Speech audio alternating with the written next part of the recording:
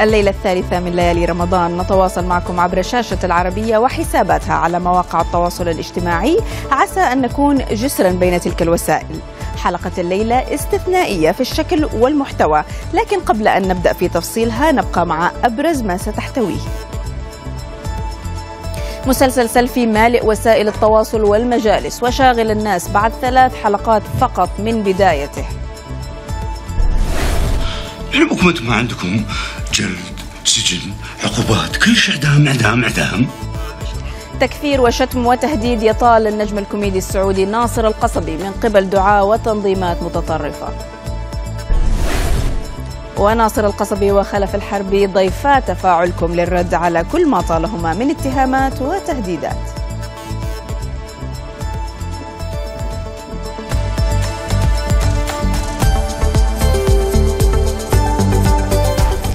أهلا بكم مجددا مشاهدينا. كما تعودنا بداية كل حلقة سنطرح سؤالنا الاستطلاعي الذي سيكون اليوم. هل ما طرحته حلقة سيلفي بالأمس واليوم قريبة من واقع داعش الفعلي؟ وطبعا هذا هو السؤال الآن أمامنا على الشاشة. إذا أحببتم التفاعل ما عليكم سوى المشاركة عبر هاشتاج تفاعلكم الظاهر أمامكم أسفل الشاشة. فإذا كانت الإجابة بنعم اكتبوا رقم واحد. أما إن كانت الإجابة بلا فعليكم كتابة الرقم اثنين.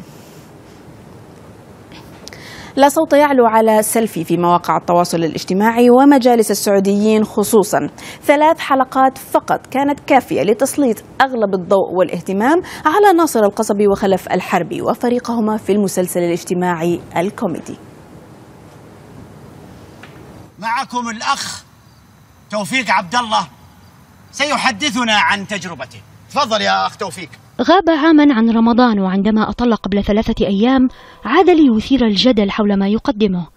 حلقة الأولى من سيلفي استنفرت بعدها وسائل التواصل الاجتماعي والمجالس وأنشئت الهاشتاجات التي كانت موجهة أغلبها إلى بطل العمل ناصر القصبي وجزء منها إلى مؤلفه خلف الحربي. الله أكبر! الحلقة كانت تتحدث عن مطرب فشل في المجال الفني ليتخذ بعد ذلك الدين طريقا لتحقيق مكاسب مادية. هل توفيق. لا إله بعد هذه الحلقة بساعات خرج خطيب لأحد المساجد في السعودية ليكفر الممثل القصبي ويوجه إليه شتائم كبيرة واتهامات بالتعدي على الدين. سرعان ما اعتذر عنها مساء بدعوى أنه أخطأ في مسألة التكفير. 24 ساعة بعد نهاية الحلقة الأولى.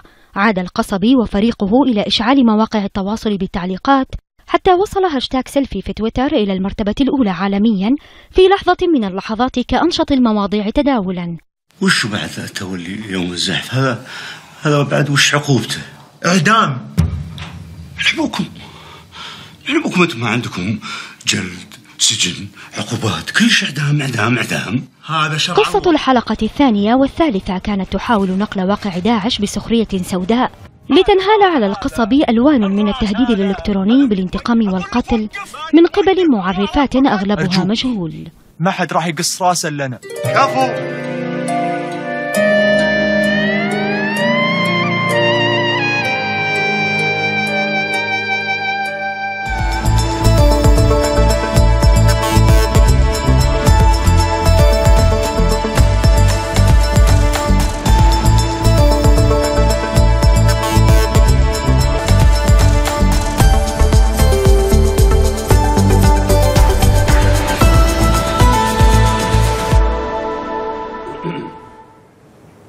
معنا هنا في الاستوديو النجم السعودي ناصر القصبي وأيضا النجم الكتابه الكاتب الساخر خلف الحربي. طبعا أرحب فيكم معايا اليوم منورين وكل عام وأنتم بخير.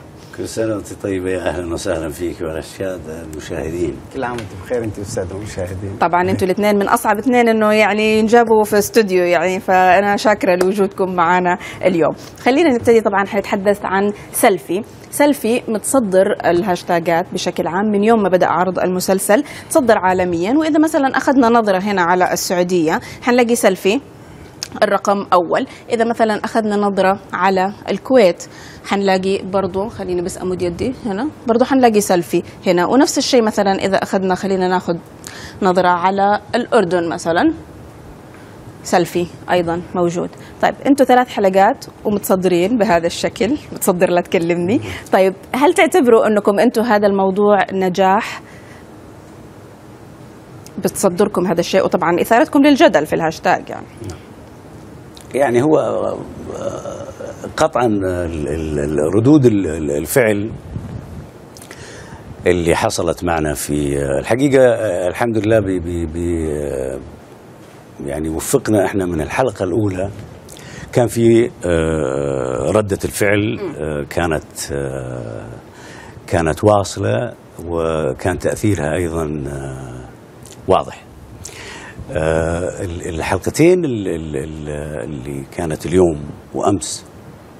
أيضا لأن موضوعها كمان موضوع ال- ال- الساعة. موضوع آه، داعش. يعني داعش هذه حكاية آه، يعني آه، قصة كبيرة. أي. وكل بيت اليوم مش كل بيت سعودي كل بيت عربي عنده أو في على حتى على مستوى العالم يعني هي. ف دخولنا أيضا بهالحلقتين وبهال وبهالموضوع الساخن اللي حصل في في داعش وردود ال- ال- ال- الفعل اللي اللي حصلت كان محتاجة الحقيقة البرنامج. برنامج مثل مثل سيلفي برنامج في الأول وفي الأخير هو برنامج شعبي طبعا. فمهم إنه آه، آه، يكون آه، يعني يخطف ال ال ال إيه. ال الأنظار في بدايته لأنه هذا هذا مهم لنا كفريق عمل إنه أنت إذا دخلت في وجدان الشارع تستطيع إنك أنت تقدم باقي حلقاتك حتى لو كانت دون المستوى لأنه خلاص ال- ال- المشاهد اوتوماتيكلي تعاطف معك ودخل وهذا الحمد لله يعني أنا أعتقد إنه وفقنا والدليل ال- ال- ال- ال- الحراك اللي قاعد يصير من وراء ال- الحلقات بس أنتم تصنفوه انه مسلسل كوميدي ولا تصنفوه انه مسلسل لا اجتماعي في رسالة معينة أنتم تبغوا توصلوها؟ بالتأكيد كوميدي والكوميديا بدون رسالة آه، يعني تفقد قيمتها. بالتأكيد اجتماعي لأنه يستمد الكوميديا يعني من رحم المجتمع من رحم الشارع من مشاكله من كل هذا يعني أكيد يعني ال- يعني الكرت الأساسي اللي عندنا هو الكرت الكوميدي. أحيانا القصة تساعدك أنك آه، تروح في الكوميديا بعيد وأحيانا البناء الدرامي مثل بعض يعني لقطات أو مشاهد حلقات حلقة اليوم ما كانت تحتمل الكوميديا ما كان ممكن نحول الموضوع إلى كاريكاتير يعني في الجانب إنساني جانب اجتماعي جانب تراجيدي أحيانا. أيوه. هذا يدخل في يعني باب ال- الكوميديا السوداء يعني مرات يكون يعني شر البلية ما يضحك مثل ما يقولون. بس يعني هل مثلا نقدر نقول إنه القصص اللي في سيلفي مأخوذة من قصص واقعية؟ هو مو بالضبط يعني واقعية كما هي إنما هي مجموعة قصص من اللي شفناه مثلا اليوم. كذا قصة قد يقولون الناس غير معقولة لكن كذا قصة كانت حادثة فعلا. أنت تلمها السياق العام هو حادث. اللي شافوه الناس اليوم يشوفونه يوميا في نشرات الأخبار ويقرونه يوميا إيه. في يعني مو هذا الواقع هذا اللي يصير يعني. إيه. ما ما اخترعنا شيء يعني. ما اخترعتوا شيء بس كمان كان لاحظنا في ترتيب الحلقات وخلينا يعني نتكلم بصراحة يعني هنا. إنه في ترتيب الحلقات كان في تركيز في أول حلقة على إنه واحد مغني فشل في الغناء وتحول إلى بعدين طريق الدين. وفي الحلقتين اللي بعدها كان في كمان عن نعم. اللي هو داعش. فليش هذا التركيز على هذه الممارسات اللي يقوم بها البعض تحت اسم الدين؟ أو يعني أو مثلا يعتقدوا إنها من الدين ليش كذا ركزتوا؟ ما أظن إن في تركيز لأن ثلاثة حلقات من 30 حلقة 10% بس يمكن لأنها جت في البداية الناس ظنتهم ولا أظن بينهم تشابه فذاك موضوع عن الاتجار بالدين عن الموقف من الفن. إيه. وهذا موضوع عن جماعة إرهابية متوحشة دموية ما لها علاقة يعني اختطفت شباب الوطن. يعني أعتقد ان ما وغ- وبكرة أكيد موضوع غير تماما واللي بعده غير تماما. يعني ما أظن يعني يمكن أصدفت عند في ناس تحب تربط بين ال- إيه. الموضوعين لكن كمان كمان يا خلف أنا أعتقد المسألة إحنا شوفي إحنا في ال في ال في ال إحنا نفرش الحلقات اللي عندنا اللي هي 30 حلقة. صح. وترتيبها يجي آه، يعني في مواصفات مثلا. في مواصفات للحلقة الأولى كون فيها يعني انتظار وبيعرفون وين الجو العام في العمل. ال- الحلقة الثانية أيضا لها ترتيبات معينة. صادف إنه حلقة بيضة الشيطان إنها من جزئين. فترتيب ال- ال- ال- ال- جدولة الحلقات صادف إنها ورا بعض يعني. مم. ف ف موضوع ميب لا لأنه بعدين بعدين حتدخل أنت في الجو الاجتماعي لأنه مش معقول أنت كل كل شغلك حيكون آه، بهذا الاتجاه. اي فبعدين حننطلق لحلقات أخرى يعني. طبعا طبعا. طبعا. عوالم أخرى تماما. طيب في تساؤلات عن أنه إذا كنتوا حتتناولوا موضوع التعايش السني الشيوعي الشيعي على ضوء يعني الأحداث الأخيرة اللي صارت في السعودية، هل نتوقع هذا الشيء؟ والله إحنا ما نحب نستبق الأحداث ولا نحب نحرق العمل. إحنا في كثير أي شيء يعني يعني هذا المجتمع تناولناه ص- صغيرا أو كبيرا قضايا تعني الشباب قضايا تعني الوطن قضايا تعني الأسرة كلها تناولناها لكن إحنا فعليا ما يعني ما ودنا يعني نقول إيش فيه العمل ودنا يعني ال- المشاهد ينتظر معنا ويشوف إن شاء الله أي بس ناصر أنت كتبت كمان تغريدة قلت يا جماعة إحنا لسه في أول يومين إنه لسه إيه. هل القادم إيه هل القادم أعظم يعني؟ لا هي مو يعني بس فعلا أيضا يعني هي عارفة ال ال- دائما ردود الفعل من الأول يفترض أنه نهدى شوي يعني لأنه آه، مثل ما قلت لك أنا أنه آه، العمل مو كله على سياق واحد. يعني إحنا نتناول ال- ال- الجو العام ال- الجوانب الأسرية. نركز طبعا على الجانب الكوميدي إيه. فالحكم أيضا على على المشروع كله من أول حلقة وتفنيده وانه يؤطر بهذا الاتجاه أو ذاك. هذا أنا أعتقد إنه التسرع مش مكانها الحلقة الأولى. لابد تعطي مجال شوي شوي يعني على الأقل يعني يتحركون معنا يعني الأسبوع الأول على الأقل وبعدين يعني أول الم- مشكلة الحلقة الأولى إن كان فيها إنه ناصر راح يغني بصوته المزعج فقلنا نخلص منها من أول اسحبها. اسحبها. فننقذ الم- لا. لا ما. لا لازم دحين نلحنها. حقت أبو سروال وفنيلة هذه. أغنية. والله شكلكم لازم تقعدوا معنا هنا كل يوم. بعد كل حلقة نرجع لكم ناخذ تعليق والهجوم عليكم. طيب من ضمن الهجوم خليني يعني كمان أرجع في هذه النقطة يمكن كمان جاتك أنت كثير منها يا ناصر اللي هي قصة تهديد داعش لك. يعني وصل الموضوع للتهديد بالقتل وصل الوضع إنه ناس كثير كفرتك كيف ترد على هالأشياء؟ يعني أنا أعتقد شوفي إحنا في الأول وفي الأخير يعني أنت ابن هذا المجتمع. وأنت أيضا يعني آه، إحنا ما إحنا جايين من كوكب آخر. إحنا جايين نقدم آه، شيء يعني آه، شيء مثلا آه، مش مقبول إحنا قاعدين نتكلم اولا إحنا أبناء هذا البلد ومن حقنا أيضا إن إحنا نقول كل شيء لأنه أيضا في داخلنا أيضا في داخلنا وطنية، في داخلنا غيرة، في داخلنا حب لهذا البلد. البلد مش محسوب على فئة. ف من حق أي سعودي إنه هو يجي يطرح ما يراه.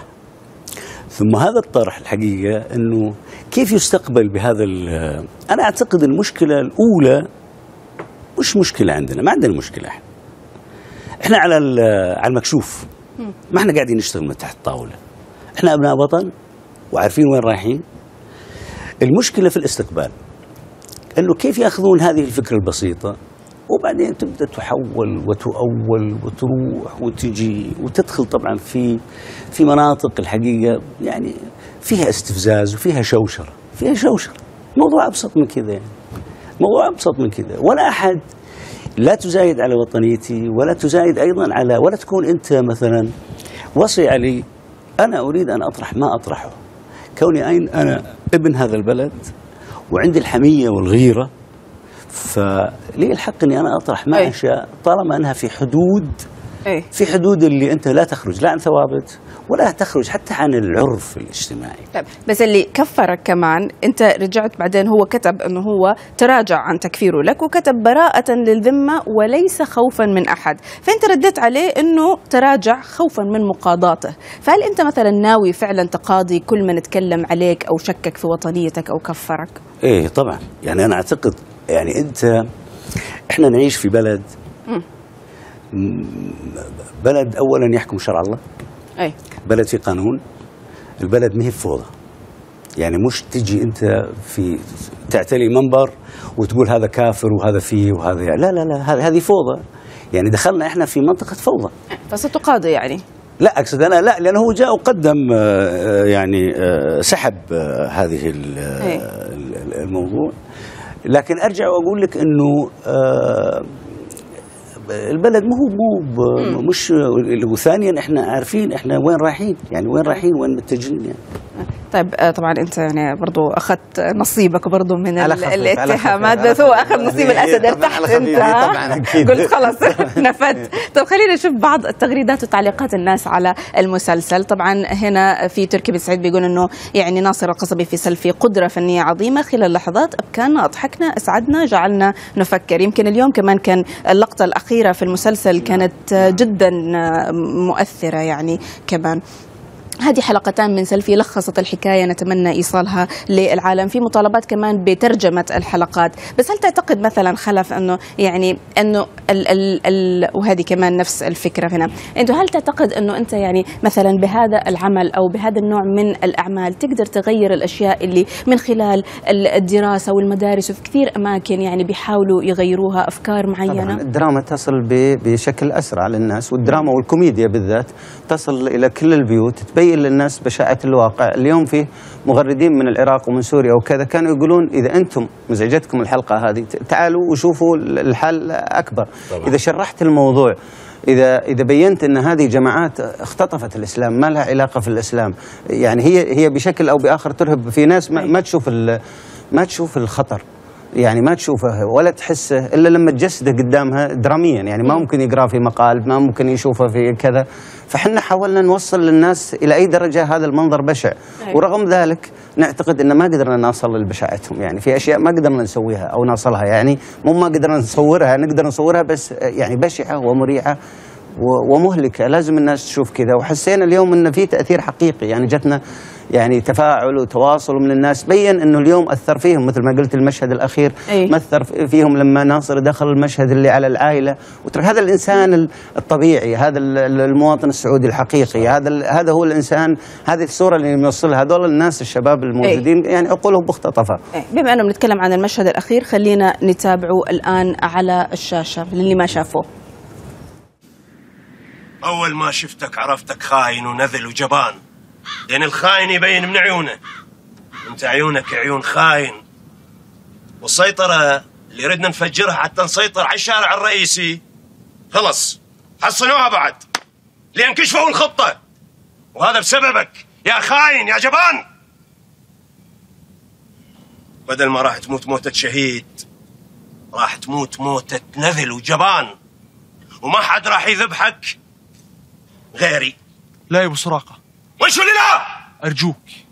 ما حد راح يقص راسه إلا أنا. كفو.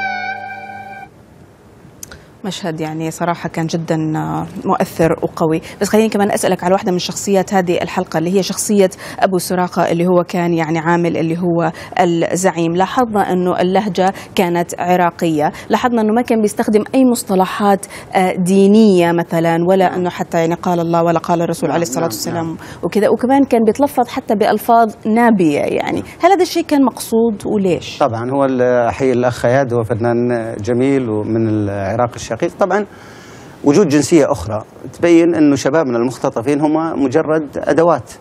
آه، دائما يعني أنا أقول إنه وخصوصا التنظيمات بعض التنظيمات الإرهابية وخصوصا داعش هي صنيعة صنيعة استخباراتيه قد يكون العناصر اللي تحت اللي هم اللي ينفذون وكذا يعني أدوات ما يدرون. لكن بالتأكيد إن القيادات ما لها علاقة في في الموضوع الجهادي أو في الموضوع الديني هي تنفذ أجندة وتعتبر هذول أدوات وكان جزء من الرسالة إنه يكون شخص يعني من من جنسية أخرى ايا كانت جنسية عربية أو جنسية غيرها عشان نوصل رسالة إنه شبابنا يعني يذهبون إلى محرقة هم فيها مجرد أدوات. مم. طب بس بأمانة يعني ما أنتم خايفين صراحة بعد هذه الحلقتين والتهديدات والجدل ما في جزء منكم خايف لا إن شاء الله. يعني مو بهالدرجه أكيد الواحد يقع. يعني ممكن تكون بعض الأمور مقلقة لكن إن شاء الله ما يعني ما في شيء لهالدرجة. إن شاء الله. ناصر خايف. يعني في الأول وفي الأخير الحام يلا لكن آه، يعني أنا أعتقد آه، مهم إنه أنا برأيي بدون بدون مزايدة وأتكلم الحقيقة ب- ب- بوعي شديد أنا أعتقد مهم آه، دور الفنان اليوم إنه يكشف عن بعض ال- ال- الجوانب. وأنا أعتقد إنه هذا دور أساسي في في أي فنان عنده عنده رؤية إنه يكشف يكشف هذا يعني. حتى وإن كان آه على حسابه. عارف؟ هذا ثمن. ثمن لازم تدفعه أنت. ثمن لازم تدفعه. وأنا أعتقد إنه يعني آه، إحنا آه، لو لو آه، لو عندنا هذا التحفظ أو لا ما إحنا ما إحنا يعني ما إحنا جادين في هالمسألة. نقعد ب- ب- بيوتنا أصرف. إذا كنت أنت تخاف إنك أنت تقدم هذا أو ذاك لمجرد إنه يطلع لك فلان ولا زعطان يهددك لا. أي. أنا أعتقد إنه م- يعني يجب أن يكون عند الفنان شيء من من الشجاعة. إنه يقول رأيه خصوصا في مسألة يعني لافتة في موضوع يعني آه، بشع مثل ظاهرة داعش. يعني آه، يعني أنا أعتقد إنه هذا اي هذا أول شيء يعني إنه أنت تقدمه إنك أنت تقول رأيك الحقيقي فيه يعني. اي بس اي أنا أعتقد خوفنا الحقيقي يكون على بلدنا وعلى أجيالنا وعلى شبابنا. هذا اللي يرعبنا أكثر هذا اللي يخوفنا أكثر. إن شاء الله يعني طبعا أكيد يعني أنا شفت آه، يعني بعض التهديدات الناصر والكذا ولا هذا هذا جزء مثل ما قال ناصر من دفع الثمن لكن خوفنا الحقيقي رعبنا الحقيقي. على بلدنا اللي تمثل داعش أحد أهم أعدائها اليوم. على أمننا على سلمنا على استقرارنا على حياتنا على أجيالنا الجديدة على شبابنا اللي يروح ولا يقدر يرجع على الأمهات والأولاد والآباء اللي ينتظرون يعني أولادهم ولا يقدرون يوصلوا لهم. يعني على الوضع اللي نعيشه تعيش الدول المجاورة حاليا مع الأسف بعض الدول العربية الشقيقة من انقسام واضطرابات وحروب أهلية وكذا. هذا هذا لازم يكون مصدر خوفنا الحقيقي مو مص- مصدر سلامتنا الشخصية إذا هم فاهمين الجهاد لأنه الجهاد أيضا أختطف المعنى الأساسي. إذا هم بفهمهم الجهاد بطريقتهم الخاصة إحنا أيضا اللي قاعدين نسويه هذا بعرفنا إحنا وبايمان الفطرة اللي نؤمن فيه أيضا هذا جهاد. جهاد إنه تحرر هال الناس من هالظاهرة البشعة. إيه. طيب إيه، يمكن يعني آه، خلينا بس عندي دقيقة عندنا موضوع اللي هو استطلاعنا اليوم اللي كان طبعا عن ما طرحته حلقتا سلفي بالأمس واليوم اللي هي قريبة من واقع هل كانت قريبة من واقع داعش الفعلي؟ هذا الاستطلاع حفز مغردين على المجيء بمشاهد حقيقية من داخل داعش تتطابق مع أورد مع ما, ما, ما, أوردته حلقة سلفي نتابع هذا المشهد. اليوم سوق السبائك اليوم سوق وما ملكت ايمانكم اليوم التوزيع. باذن الله عز وجل كلنا نصيب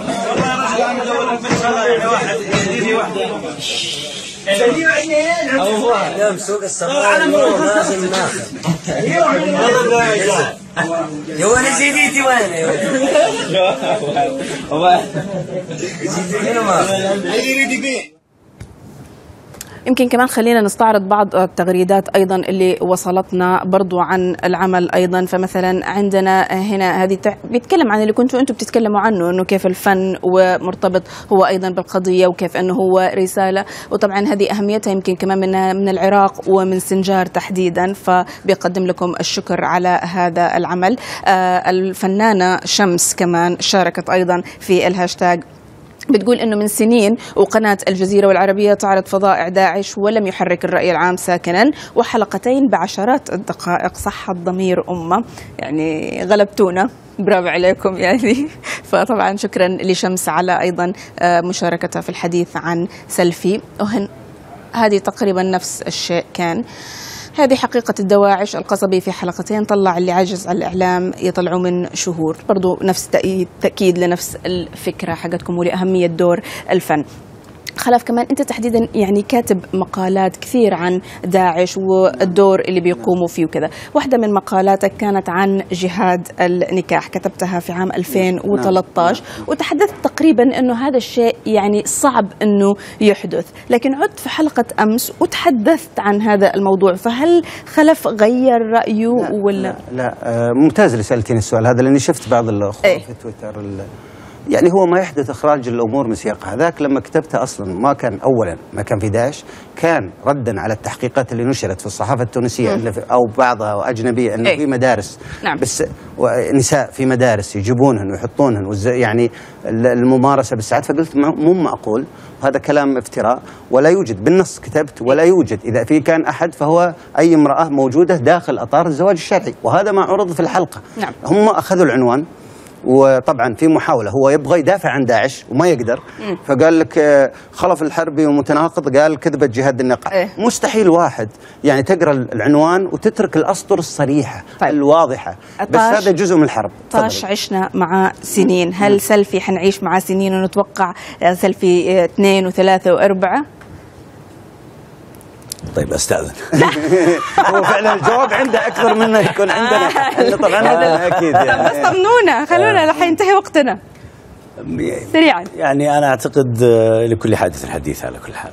طيب يعني إن شاء الله دائما نشوفكم معنا ودائما متألقين على الشاشة. كان معنا في الاستوديو طبعا اولا خليني سريعا لا استطلاع بس بقول اليوم. لك ترى ما كله دواعش ترى في وناسة عندنا. إيه لا. نعم 98% قالوا انه مسلسل سلفي نقل الواقع. كان معنا في الاستوديو النجم السعودي ناصر القصبي وأيضا نجم الكتابة الكاتب الساخر خلف الحربي نورتونا. وكل عام وأنتم بألف خير. يا هلا والله. مشاهدينا إلى اللقاء.